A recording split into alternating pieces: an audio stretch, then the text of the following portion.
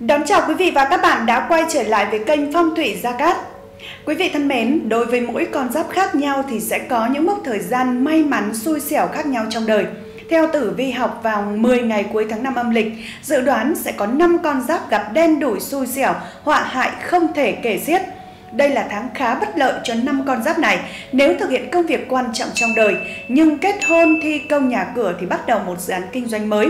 Vận khí của 10 ngày cuối tháng 5 âm lịch, tháng cửu độc sẽ mang đến cho những gia chủ này thị phi đen đủi mà bạn chưa bao giờ từng thấy.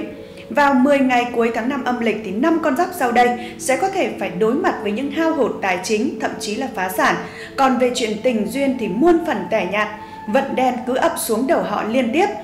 Vậy, chi tiết xui xẻo ấy như thế nào mà chúng tôi lại nói đến gây Vậy thì chi tiết xui xẻo ấy như thế nào mà chúng tôi lại nói đến họa gại cho quý vị đến vậy? Mời quý vị và các bạn hãy cùng Phong thủy Gia Cát tìm hiểu ngay trong phần tiếp theo của chương trình. Sau đây sẽ là những con giáp minh chứng cho điều đó, dù đã có cố gắng mà thời điểm 10 ngày cuối tháng 5 âm lịch vẫn xui xẻo đủ đường. Chi tiết vận hạn của năm con giáp kém may mắn đen đủi này như thế nào? Mời quý vị và các bạn cùng tìm hiểu thông qua chương trình Phong thủy Gia Cát ngày hôm nay. Năm con giáp làm gì cũng xui xẻo đen đủi đủ đường vào tháng cửu động. Tuổi thìn những chú rồng trong tháng 5 âm lịch này thì vận trình sự nghiệp biến động khá là lớn, bản mệnh gặp nhiều khó khăn trong việc tập trung làm việc, phải chịu nhiều áp lực từ phía cấp trên. Khối lượng công việc khá lớn, nếu không được những người xung quanh giúp đỡ thì e rằng con giáp này khó có thể hoàn thành được công việc đúng như dự kiến. Phải bình tĩnh để làm từng việc một, càng sốt ruột, hoảng loạn thì càng dễ mắc sai lầm. Tháng 5, việc kiếm tiền của tuổi rồng thì không được thuận lợi như bình thường. Những áp lực mâu thuẫn gia tăng khiến cho con giáp này căng thẳng, khó có thể tập trung, dễ mắc sai lầm, tuột mất cơ hội khỏi tay mình. Tháng 5 âm lịch là lúc mà tuổi thìn sẽ không có nhiều thời gian dành cho tình yêu. Sự nghiệp phải trải qua biến động khá lớn nên con giáp này phải dồn thời gian và tâm sức để giải quyết bạn cần phải tâm sự chia sẻ nỗi khổ tâm khó khăn của mình với đối phương để tránh những giận hờn hiểu lầm không đáng có làm ảnh hưởng đến tình cảm đôi bên. Về phương diện sức khỏe thì tuổi thìn thường gặp phải những tai nạn bất ngờ, tuy nhỏ nhưng có thể bị va vấp xước sát, chảy máu, cần phải chú tâm hơn khi mà làm bất cứ việc gì, tự bảo vệ bản thân khi có sự cố xảy ra. Tuổi ngọ trong tháng 5 âm lịch thì sự nghiệp của tuổi ngọ vẫn ảm đạm, nhiều khó khăn thử thách vẫn đang chờ đợi bạn ở phía trước. Chỉ cần sơ sẩy một bước là có thể sập bẫy, cần làm đúng phận sự chức trách của mình, tránh lo chuyện bao đồng gây mâu thuẫn với đồng nghiệp cấp trên. Xét vận trình tài lộc tháng 5 âm lịch thì họa phá tài đang ập đến, tuổi ngọ xui xẻo hết lần này đến lần khác, tổn hao tiền bạc, bản mệnh không thể giành được là bao, tiền cứ vào túi hôm trước thì hôm sau lại hết có thể bị mất trộm, rơi mất hay là lừa mất, thậm chí là do bị phạt hay là tiêu dùng cho việc khám chữa bệnh. Bước sang tháng 5 năm canh tí này thì tuổi ngọ vẫn đang loay hoay để tìm lối đi cho chuyện tình cảm của mình. Có nhiều vấn đề phát sinh và bạn không muốn để lỡ mất cơ hội hạnh phúc nên cố dấn thân, xong cũng chẳng có nhiều hy vọng. Còn tình hình sức khỏe của tuổi ngọ duy trì ở mức ổn định, tuy nhiên thì khó tránh khỏi tình trạng mệt mỏi, uể oải, làm việc thiếu tập trung do ảnh hưởng của ngũ hành tuổi mão Bước sang cuối tháng 5 âm lịch thì tuổi mão đang gặp phải nhiều khó khăn do bị tiểu nhân chơi xấu cấp trên thì chèn ép, khách hàng liên tục gây khó dễ. Đây là những sự cố bất ngờ phát sinh chứ hoàn toàn không nằm trong kế hoạch. Vì thế mà con giáp này thường mất bình tĩnh, khó đưa ra được những quyết định đúng đắn và chính xác. Người tuổi mão trong tháng 5 âm lịch thì tiếp tục phải chi tiêu tiết kiệm vì tài lộc vẫn chưa thực sự như ý. Có nhiều chuyện xảy ra, công việc kém suôn sẻ do bị tiểu nhân chơi xấu, bản mệnh sẽ gặp nhiều khó khăn trong mong muốn nâng cao thu nhập cho mình. Về công việc, bản mệnh vẫn chưa đạt được mục tiêu dự kiến, vì thế mà nguồn thu lương thưởng cũng bị giảm hẳn. Thu nhập trong tháng chẳng có là bao, chỉ đủ để chi tiêu những khoản sinh hoạt phí bắt buộc, cuộc sống bế tắc. Thêm nữa, dù không mắc bệnh gì nghiêm trọng nhưng khả năng bị ngã, bị thương do va đập cọ sát của con giáp này khá là cao.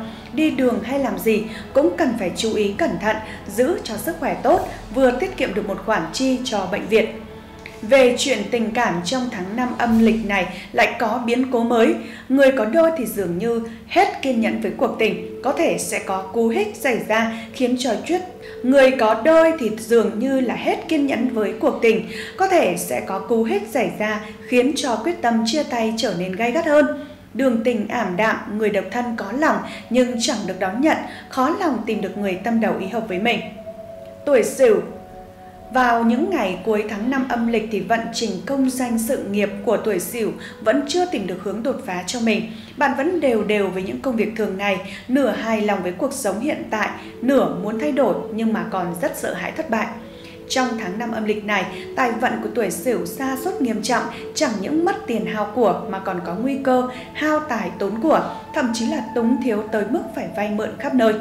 Bản mệnh tiêu tiền thiếu kiểm soát, đã thế lại còn gặp phải đủ chuyện xui xẻo bất ngờ nên khó có thể cân đối được thu chi, thường chi tiêu lạm phát, thu nhập vẫn vậy nhưng chẳng đủ dùng. Con giáp này nếu muốn khởi nghiệp hay kinh doanh thì cần phải cẩn trọng khi mà lựa chọn đối tác, hợp tác làm ăn. Hãy học cách phân tích con người từ những chi tiết nhỏ nhặt nhất, từ đó đưa ra những phán đoán chính xác về nhân phẩm của đối phương, tránh việc lơ là mà để bản thân lọt vào tình huống nguy hiểm. Sức khỏe của tuổi Sửu duy trì ổn định, con giáp này cần phải chú ý bảo vệ mắt, ăn uống tăng cường các thực phẩm bổ dưỡng, giúp cải thiện thị lực tốt hơn. Công việc thì khá là bận rộn, khó tránh được những lúc mệt mỏi, đau đầu, suy nhược thần kinh, cần phải nghỉ ngơi hợp lý, có điều kiện thì có thể lên kế hoạch đi du lịch để xả hơi một chút. Tuổi Dậu sự nghiệp của người tuổi dậu thì vẫn không cởi sắc trong tháng năm âm lịch này.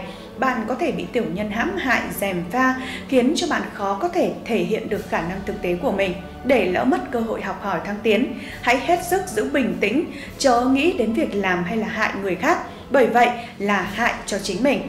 Về tài chính của tuổi này thì không có nhiều biến động trong những ngày cuối tháng năm âm lịch. Tuy nhiên thì bản mệnh cần phải suy nghĩ kỹ càng trước khi đưa ra những quyết định đầu tư tránh tình trạng tiểu nhân hãm hại, dèm pha, để lỡ một cách đáng tiếc những cơ hội để phát triển. Tháng năm âm lịch, sự nghiệp của con giáp này phải chịu nhiều áp lực nặng nề, vì vậy mà cần phải mở lòng tâm sự với người khác, đặc biệt là đối với những người thân của mình. Và đây cũng là cơ hội để tình cảm vợ chồng càng thêm sâu sắc. Đồng thời áp lực công việc cũng thường khiến cho những chú gà cảm thấy chán nản, mệt mỏi, nóng trong người. Bạn cần phải suy nghĩ thoáng hơn, khi ăn uống thì cần tránh những món đồ cay nóng nên bổ sung thêm nhiều loại hoa quả và rau xanh. Tình hình sức khỏe của tuổi dậu có dấu hiệu giảm sút khá là rõ rệt, bệnh cũ tái phát, dễ bị ốm vặt, cơ thể thường xuyên mệt mỏi, uể oải đau nhức con giáp này nên thay đổi thói quen sống tích cực hơn, hạn chế ăn hàng quán hay là uống đồ có cồn để cải thiện thể chất. Bên cạnh đó thì việc chăm chỉ luyện tập thể dục thể thao tăng cường khả năng chống lại bệnh tật cũng như là làm chậm dấu hiệu lão hóa. Trên đây là năm con giáp cực kỳ xui xẻo, đen đủi, làm chuyện gì cũng bị quấy phá, bị hung tinh đeo bám dẫn đến những thị phi bùa vây. Năm con giáp kể trên vào 10 ngày cuối tháng 5 âm lịch khó bể mà phát triển lên. Những con giáp này thì cần phải hết sức cẩn trọng, đề phòng, chuẩn bị tốt tâm lý, trau dồi kinh nghiệm mới, mới mong có bể may mắn. Những con giáp đen đuổi tháng này cần mang bên mình pháp khí phong thủy minh quang pháp bảo. Minh quang pháp bảo là pháp khí phong thủy có nguồn gốc từ nhà Phật được thiết kế là hình Phật Bà Quan Âm cùng bộ chú Bát Nhã Tâm Kinh là pháp khí chiêu nạp quý nhân, tương trợ cho gia chủ thành công, hóa giải xui xẻo, giúp bản mệnh làm việc gì cũng hành thông thuận lợi. Vậy thì vận trình những con giáp khác ra sao trong 10 ngày cuối tháng 5 âm lịch? Hãy cùng chúng tôi tìm hiểu phần tiếp theo của chương trình ngày hôm nay. Tuổi dần theo tử vi ngày mới thì vận trình của tuổi dần vào 10 ngày cuối tháng 5 âm lịch sẽ có sự hao tổn về công danh tài lộc. Tuy nhiên thì bạn lại có tin vui về sự thay đổi việc làm, hoàn cảnh sống của người thân khác. Trong ngày sẽ có sự đáo hạn đến hẹn định kỳ cần phải hoàn thành, cuối ngày sẽ có cuộc vui nhỏ. Tuy nhiên thì sự đi lại di chuyển, sự lòng vòng hoặc chậm trễ đôi chút, tài lộc trung bình. Tuổi Mão Căn cứ vào 10 ngày cuối tháng 5 âm lịch, tuổi mão cần tập trung vào công việc. Dù có cuộc hẹn hoặc là được mời dự tiệc cũng không nên lơ là công việc. Hãy cố gắng giải quyết hoặc công việc hay là bị bỏ dở vì có khách đến hoặc có tin tức mới. Mọi việc nên có sự kiên nhẫn, mong cầu về tiền bạc còn chậm nhưng sẽ có kết quả. Ngày này thì có sự hao tốn vì mua sắm, hoàn trả những món tiền đã đến kỳ hạn. Tuổi thìn Tử vi của 12 con giáp cho thấy tuổi thìn nên cẩn trọng về sức khỏe. Nếu không phải là việc nghiêm trọng thì bạn chỉ cần nghỉ ngơi, làm những công việc đã có dự tính, không nên than vãn hoặc là âu lo. Về công việc, nếu có những trở ngại áp lực hoặc là có tin xấu thì cần phải nhẫn nại vượt qua, sẽ có người biết đến giúp đỡ bạn hoặc sẽ gặp được cơ hội vận may. Bạn cần phải chú ý ngủ đủ giấc, giảm bớt áp lực căng thẳng để không ảnh hưởng xấu đến sức khỏe. Tuổi Tỵ Căn cứ vào 10 ngày cuối tháng 5 của người tuổi tỵ sẽ có một ngày dễ hao tiền tốn của. Nếu không phải là chuyện cần thiết thì nên giới hạn việc đi lại, di chuyển, gặp gỡ vì nó có thể sẽ đem lại cho bạn nhiều hao tổn hoặc rất dễ gây ra những chuyện phiền lòng trái ý hoặc làm việc trong tâm trạng bị ép buộc nên phải cẩn trọng trong lời nói vì nó dễ dẫn đến những chuyện thị phi hoặc dính líu đến công việc của người khác. Tuổi Tý Xem tử vi của 10 ngày cuối tháng 5 cho thấy tuổi Tý sẽ có một thời điểm biến động liên tục, mọi việc liên quan đến công danh, chức vụ, tài lộc, tình cảm đều có sự thay đổi. Trong ngày này thì nhà sẽ có tiệc đình đám hoặc có khách đến. Trong sự giao thiệp thì cần phải cẩn trọng, dễ gây sự xích mích tranh cãi nhau, việc làm hay bị dở dang nửa chừng vì có những chuyện xảy ra bất ngờ hoặc có khách lạ đến, tài lộc có chút ít hoặc là có quà tặng bất ngờ. Tuổi Sửu trong thời điểm này, tuổi Sửu không nên mưu cầu những chuyện lớn lao hoặc tin tưởng quá vào sự suy nghĩ của mình vì sẽ có sự đảo lộn trái ý hoặc tin tốt đến chỉ đem lại sự ràng buộc rắc rối. Tài lộc cuối tháng thì không tốt, dễ hao tốn về sửa chữa, tu bổ, trả nợ. Tuy nhiên thì bạn sẽ có tin vui về sức khỏe hoặc tình cảm của bạn bè, thân nhân có liên quan đến mình nhà sẽ có đình đám hoặc được mời ăn uống nhưng không vừa ý hoặc là không đi, phải trở về nửa chừng. Tuổi ngọ theo tử vi 12 con giáp, tuổi ngọ sẽ có những cuộc gặp gỡ thân nhân, bạn bè hoặc có tin tức tốt trong tháng. Về công việc, bạn sẽ được cấp trên tín nhiệm hoặc khen thưởng và điều này giúp cho bạn tràn đầy năng lượng tích cực. Về tình cảm, bạn sẽ có cơ hội gặp gỡ đối tượng phù hợp thông qua các hoạt động xã hội. Tuổi mùi theo các chuyên gia phong thủy, vận trình của tuổi mùi vào 10 ngày cuối tháng 5 âm lịch này có nhiều chuyện cần lo nghĩ trong thời điểm này nên thu vén sắp xếp lại công việc một cách ổn định hơn, không nên mưu cầu những việc lớn lao hoặc tiến hành công việc ra đi thì cũng có sự trở ngại hoặc không có lợi gì. Mọi tin tức dễ đến có sự cháo trở đạo lộn, nên nghỉ ngơi, không nên tính toán tài lộc ra vào thất thường, nhưng cũng có cao nhân giúp đỡ.